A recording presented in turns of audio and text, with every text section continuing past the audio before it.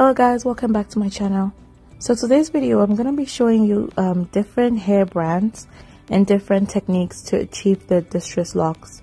So as you all know if you've watched my previous video which you can also watch and i can link some in the description i usually use the kinky bulk as my base and then um, i can use different wrapping um, different another different um, hair brand for the wrapping.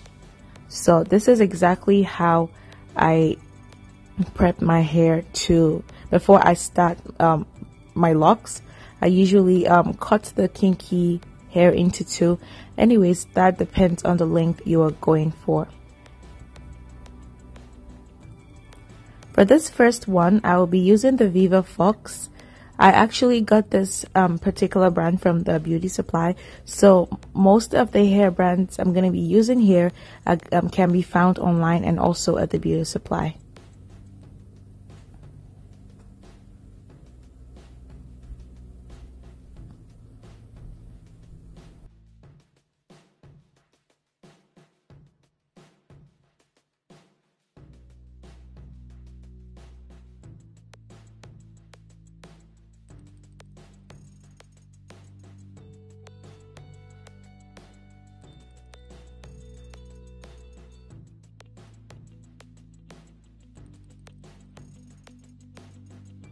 So guys, I'm mainly going to be doing three methods for this tutorial. I'm going to be doing the thumb method, the pinch method, and the freestyle. The thumb method was actually, the first person I actually saw do it was my friend, Olama Treasure. You can check out her channel. And also, I don't know if, you know, I wouldn't say she's a creator, but she is the first person I've seen do it. And also, I personally use the freestyle method, which you're going to be seeing um, shortly. But this is a thumb method. It gives um, a very distressed um, look. Um, if you want your hair, um, if you want your look really messy and kind of give you this, you know, very messy look, I would say this method will be good for you and it's very easy. So it's just wrap and you take out a section with your thumb and wrap, take out a section with your thumb. So guys, if you consider using this brand, I would say four to five packs will be good for a mid back length. And also, I would just um, buy more hair just in case for like a shorter um, length for like bulb. But if you're going for like a longer length, I would say six to seven just in case. You might use less, but this all depends if you use a different hair for the base like I do with the kinky twist.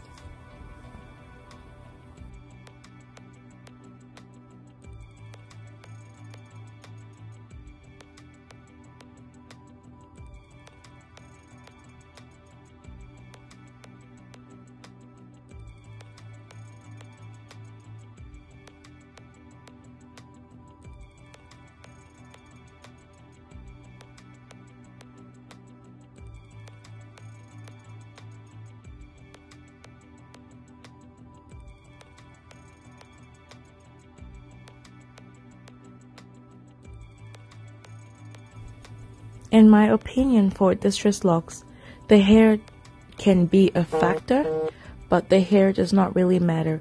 All that matters is the technique because I've seen different videos, different um, different um, outcome, and people use different brands, and it still gives you the distress look you're going for. It just depends on the technique.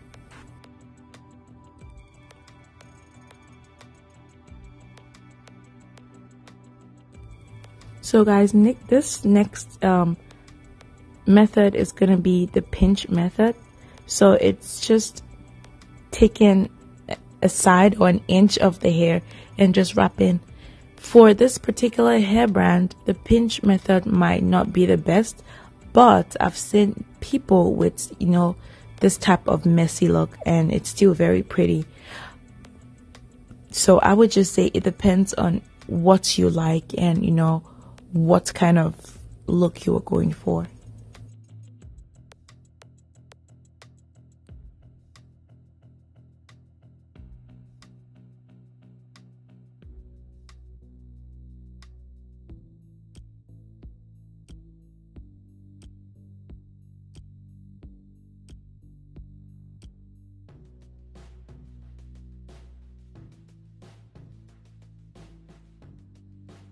Another way of um, making this look better is, I'm sorry guys for the, if my voice sounds cracky, um, is taking a little strand and wrapping over it. This also gives a distressed look and, you know, it just it, it doesn't give it a fine look. It just makes it really messy. So this can actually work depend on the brand you are using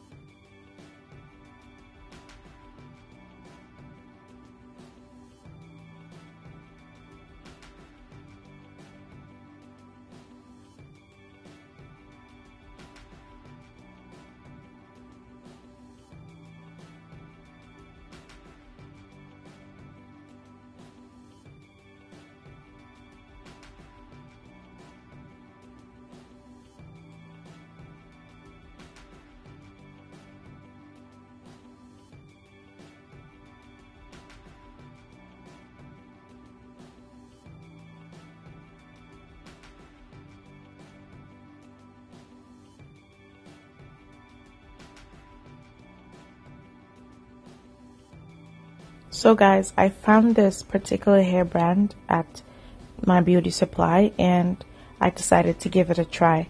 I tried it on my client and it looked really nice. So I was like, yeah, I think I would use this if I do not find the hair brand that I, you know, would use on a regular day.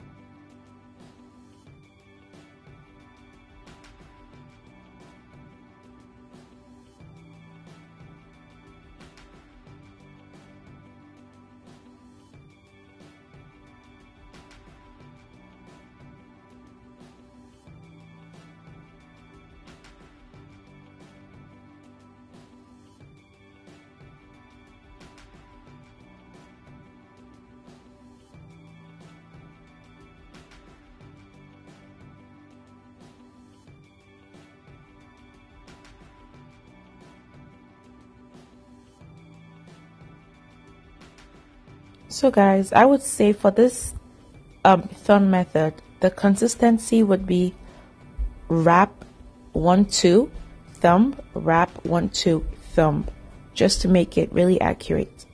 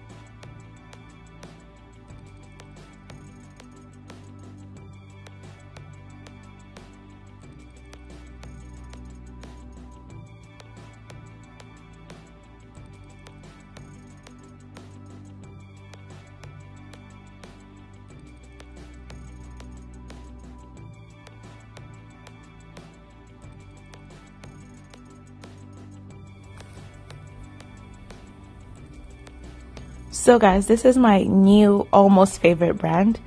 I love this hair because you can use it for passion twist.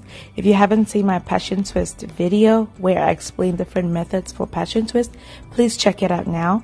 And um, yeah, I really love this hair brand because it gives me this spring twist, even fluffier, you know, vibe, I would say. Um, yeah, I really like this hair and um, I usually get this hair from the beauty supply um, sells it, but it can be pricey. I usually get it from Wigs Type or Wig Types, something like that. But yeah, it's an online um, store that it also ships really fast, so you guys can check it out. And this is not a sponsored post. This is not a sponsored post a tutorial, but yeah, I'm just saying that they're very reliable and effective when it comes to shipping. And you can also find this brand on there.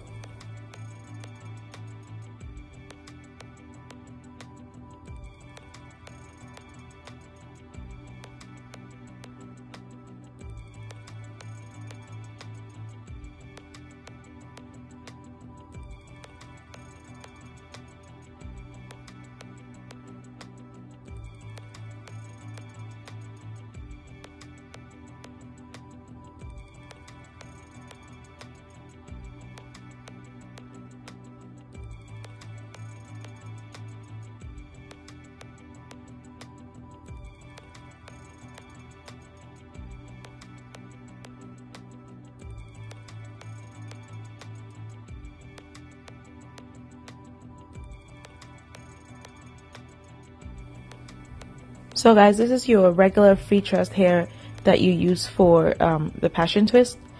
Um, so I would say for people who like their lock to be shiny because I've actually had that question before of um, someone asking me what kind of hair to use if you want the lock shiny. I would suggest using um, the Freetress hair, but try getting the one with like um, kind of tighter coils that can hold up, you know, when wrapping that would give you the shiny look you want.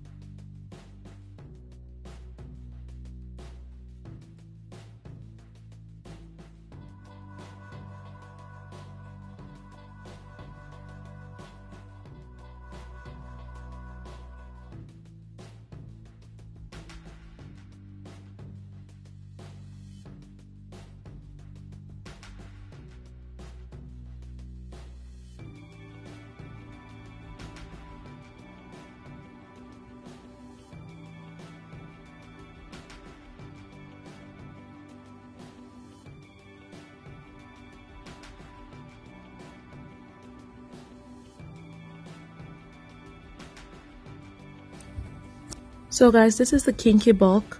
Um, in my previous video for the passion twist, I told you guys the two ways your kinky bulk can look.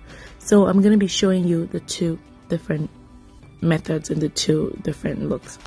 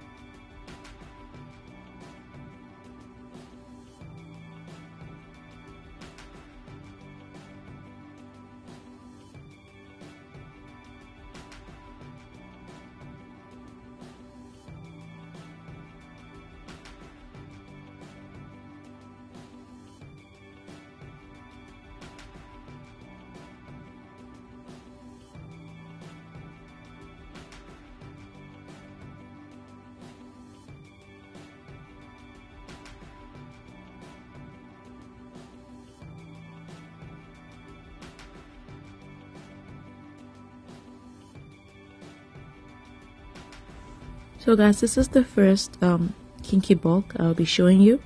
And I also have a detailed video about comparing the kinky bulk to the spring twist hair because um, they can actually look very different sometimes.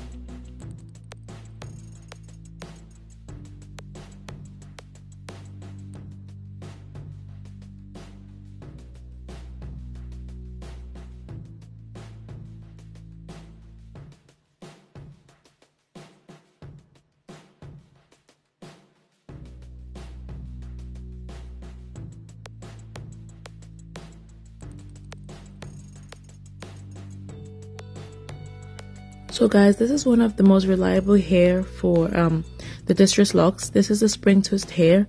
Um, I personally use this.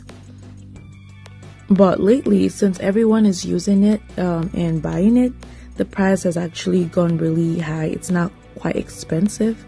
So um, that's why I tend to do research or just find new hair brands that I can use to achieve the same look.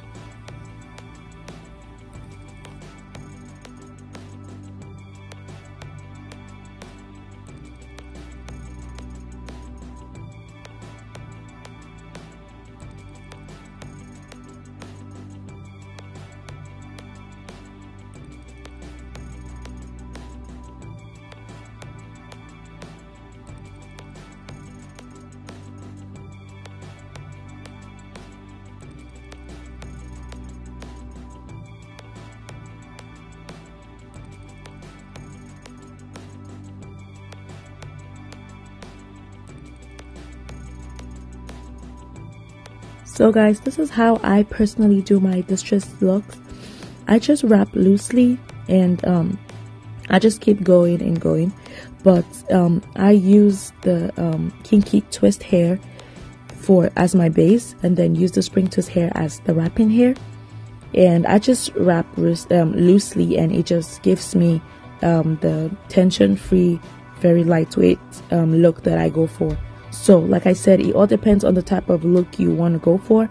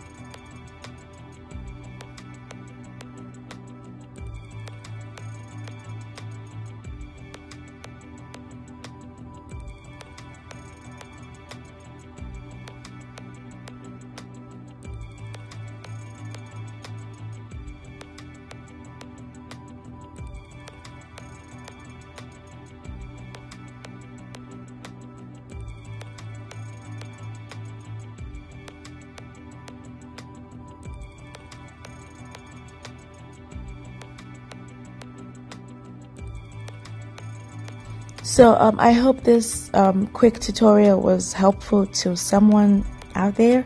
And um, thank you guys for watching my videos. I'm really grateful. Thank you to my new subscribers. Thank you to my old subscribers. Thank you to everyone who always comes back. And um, like I said, like I always say, if you have questions, um, concerns, you can always leave them in the description. Um, you can always leave them in the comment section, or you can just send me a DM on Instagram. Or if you have a video or um, a tutorial you want me to do, I would be excited to do it and you know show you guys. Um, thank you guys, and I'll see you in my next video.